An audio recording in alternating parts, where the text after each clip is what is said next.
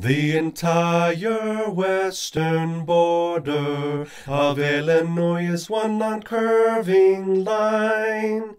It is formed by the Mississippi River, where it turns, twists, and winds.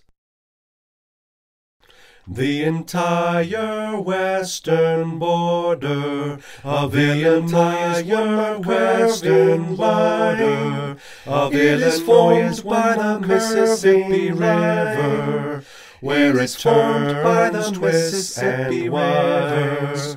the entire western waters of Illinois one western border of it is formed by the Mississippi River where it formed by the Mississippi River.